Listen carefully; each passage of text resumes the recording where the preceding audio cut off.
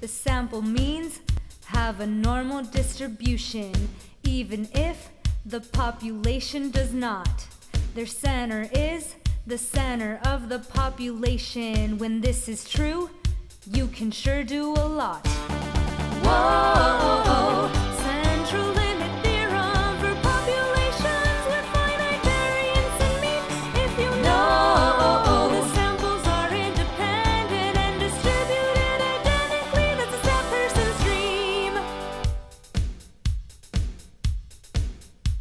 The further that the population is from normal, the larger that your sample size must be. If you're sampling, Parent-child height.